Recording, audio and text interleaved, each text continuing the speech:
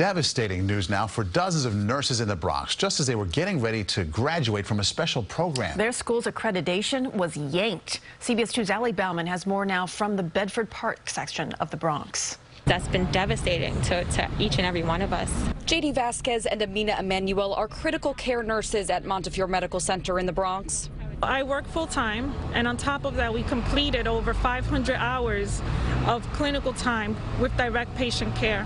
While working at the hospital for the past three years, they've also been working towards master's degrees at the Lehman College Family Nurse Practitioner, or FNP, program. Family nurse practitioners can assess, they can diagnose patients, they can prescribe.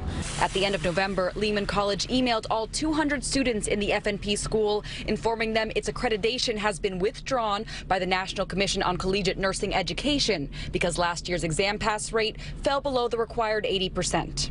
The day that I read that email, I literally broke down into tears because I could not understand how they would be so cruel. They are two of 45 FNP students graduating from Lehman College this month who will not be allowed to take their certification exam.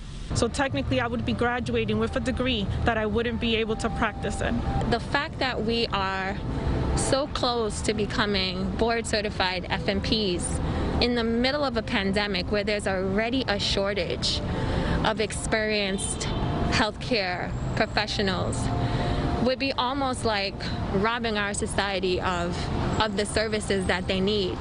A Lehman College spokesman tells us in a statement, we continue to believe a good cause extension should be granted so that our students can sit for the national exam and proceed in their new role as FNPs.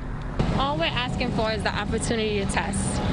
Lehman College says its program is accredited by the state, so they're asking a different certifying organization if that could be enough to qualify students to still sit for the exam.